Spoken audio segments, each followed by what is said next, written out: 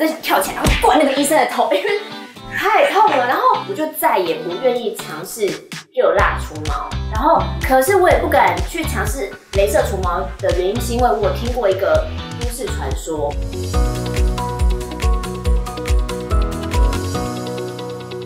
听过一个都市传说，他们说镭射除毛很像拿打火机在烧你的妹妹，就是这是我听说的疼痛程度，所以我今天也想要请医生哈来解释一下，就是我们先说那个蜜蜡除毛的风险，毛囊炎到底普不普遍？是十个会有八个这样的症状产生吗？其实啊，就是自己除毛，然后来诊所去看，就是各种的红肿的人其实蛮多。嗯，就是不管你是用刮的造成的刮伤，然后刮的方向不对，毛囊有倒插，生长方向错误，然后造成的毛囊炎。或者是说你刚刮完之后，它会有一个小小的刺刺的毛扎，然后就会造成你的瘙痒不舒服，去搔抓，然后甚至最后变成色素沉淀。那拔的也会有一个，就是拔出的方向不对的时候，造成它整个毛发倒插的情况。嗯，那这种情况毛发内包就有很有可能会产生毛囊炎。那毛囊炎一般我们就会很担心说。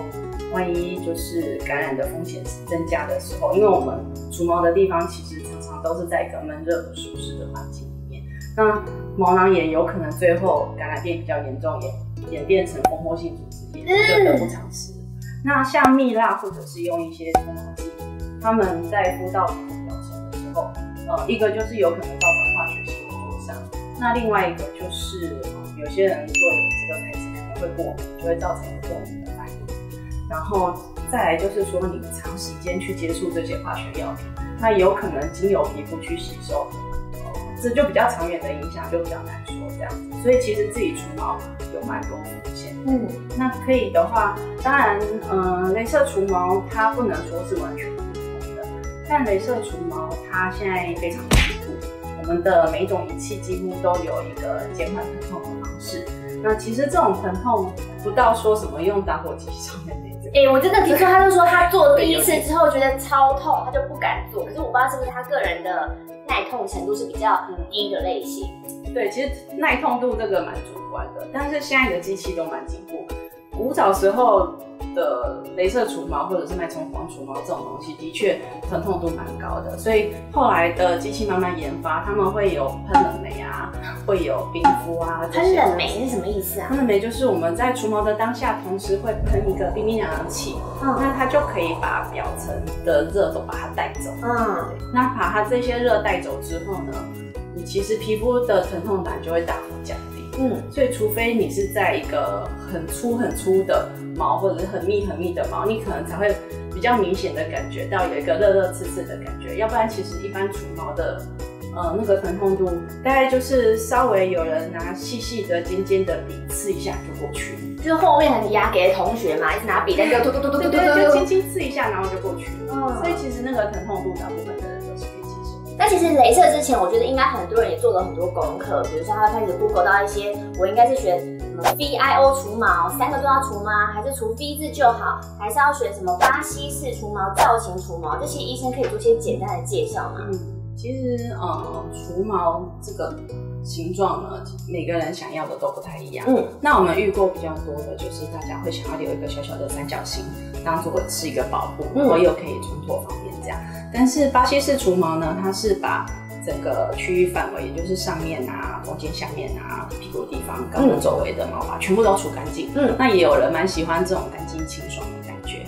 那有小部分的人，他会想要去做一个比较特别的形状，嗯，当做是给另外一半的惊喜，像是爱心形啊、水滴形啊，也有人就是可能会稍微做一个字母的形状。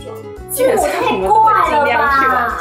尤其如果你说玛丽，你要弄个 M 好了，你下面没毛，上面又有毛，那本身就是一个脱下来真的是，就有些情趣，就只能当事者比较了解。我脱下来，你看到我像这个 M，你会开心吗？我真的是想问大家，所以你，所以医生遇过最妙，可能就是要一些字母的，对对的形状那样。有人巴西全除之后，他后悔的吗？倒是没有哎，大家的反应都是蛮舒适，蛮喜欢的。因为我觉得有有一部分可能是因为就我们从小可能没有那么普遍的除毛观念，所以可能也害怕说，万一我除了真的没了，我想我的毛回来该怎么办？但其实大部分都是很着迷全光的。是的，因为毕竟毛发这个东西，在我们现在的人类身上，它就是个，呃，也不能说无用啊。在远古时代，它是保护力很强的东西，但现在其实我们有衣服，有内裤。其实就是，就算没有这些毛发，你还是可以觉得很舒适哦。我要跟大家说，尤其 V I O 的 O，O 就是后面那个洞洞的毛除掉。你在洗澡的时候，你会发现人生一个新天地。你会发现，原来我的 body 可以这么 smooth，真的，它真的很光滑。那个体验是大家真的要体验一次看看。那说到了，我觉得在网络上除了呃，镭射除毛，很多人想尝试，还有个不敢尝试的原因是因为我不知道除几次。才会干净。可能我打了第一次，觉得说啊，不是我效果吗？它又长回来啊。第二次也有，第三次也有，到底要除几次才会达到我预期中的除毛效用？嗯，基本上镭射的除毛呢，跟毛囊的生长期非常的有相关。那我们一定要毛囊正在处在生长期的状态下，我们才有办法有效的去除到毛囊底下的干细胞。所以呢，它并不会说你全部的毛囊都同时正在生长期。所以，嗯，一定是需要。有一些次数的，那一般来说，私密处的毛发大概是四到六次左右，那大概八成的人就会觉得可以得到一个满意的情况。嗯，可能之后就剩一些细细小小的毛。嗯，那嗯，规律规则的话，大概需要四周到六周就来一次。嗯，四到六周来一次，然后通常四到六次是一个平均值，你就会达到你想要的效果。那我们就要找同一个医生，不然这个医生的三角形这样，像别人三角形这样子就不一样。不会，不会，我们呃到诊所之后呢，我们在术前准备的时候会帮你就是修剪毛发跟基本的清洁。嗯，那同时也会跟你确认说，呃，我们这次要做的部位跟范围有多大。嗯，那所以呃这个部分是不用太担心。嗯。那之前像比如说热辣除毛好了，它基本上回去的照顾不会太复杂，比如说会想说前几天你不要用一些清洁剂，你就清水清洗，然后过可能呃呃五到七天，你用一个简单的去角质，避免毛囊炎产生去些角质，照顾什么样？那镭射除毛的术后照顾呢？啊，镭射除毛的术后照顾基本上不太需要什么。大概就是呃一个礼拜之内注意说不要去晒太阳曝晒。谁呀？谁没事在这下面都这样天天体营之类的，就是不要去晒太阳，好，不能天体，然后不要洗那个然后不要用一些就是比较刺激的酸类的产品或者是去角质。嗯，那一个礼拜之后其实就是正常。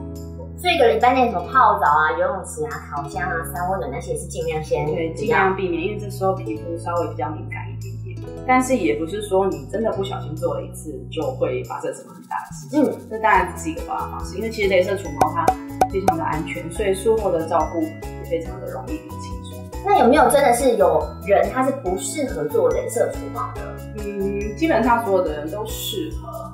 嗯，大概就是说你注意一下你在要除毛的时候，你想要除毛的区域是不是正在发炎的情况，譬如说你刚刚讲的毛囊炎正在发生的时候。或者是他刚好有伤口、有感染的情况，那这部分我们会希望先避开，或者是把那个部分保护起来的，其他的再做。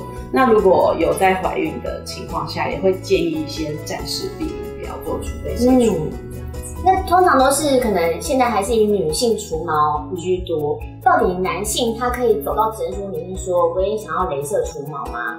啊，其实我们男性来除毛的患者也是非常非常的多，真的，私密处的患者也是有，嗯，不过这就是会由男医师去服务这样，他不能要求女医师，嗯，他要要求，我我看到男生不会怕，我想要有妈妈的感觉，妈妈帮我除，就就他如果有要求，我们还是会做的啦，我们会我们帮你媒合，就是愿意接你这个 case 的女医师，因为其实医师是不分男女的，嗯。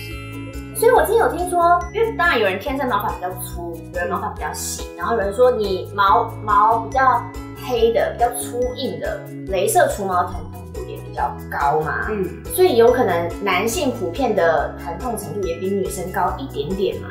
嗯，其实疼痛这个东西真的还是相当主观的。当然，呃，我们粗黑的毛在吸收能量方面可能真的会比较高一点点。可是相对的，它吸收能量高的话，有可能就会造成旁边灼伤。所以我们在做的当下，都还会去调整镭射的参数，还有看皮肤的反应，去决定说这次治疗的强度。嗯，所以其实疼痛度并不会就因此这样高非常的多。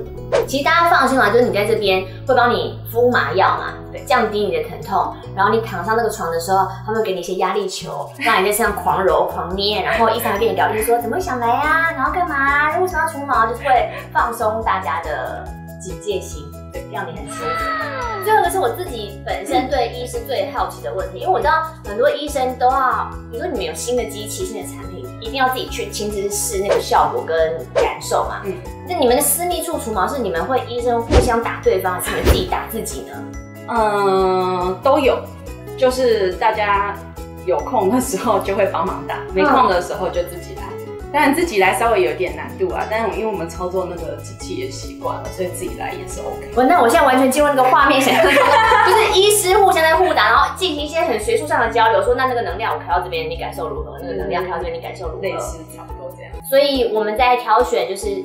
就是除毛方式现在有很多，我们刚刚提到了，你自己用刮胡刀，然后用热辣、蜜蜡，但是最一劳永逸，你知道最快的方式就是选择镭射除毛，然后就像医生说的，四到六周做一次，然后进行四到六次就可以达到大概是你要的效果。还有一些诊所的挑选是我们需要注意的吗？比如说我需要跟他确认他的畸形，或是我需要注意一些什么证照吗？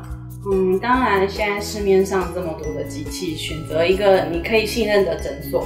跟医师是最重要的。那镭射机器蛮多的，不过呃需要去选择就是原厂的机器，它的能量输出会相对的稳定。嗯，那当然操作机器的医师的经验值跟他调整参数的一个学识也非常的重要。嗯嗯，所以要挑选看起来。不是看起来合格，好好怪啊！所以要挑选就是值得信赖诊所，然后就是一是他的经验越丰富，当然他知道越知道能量怎么开，就可以达到你越需要的效果。今天非常谢谢洪医师，希望那个夏天来临，大家都清清爽爽、干干净净喽。嗯。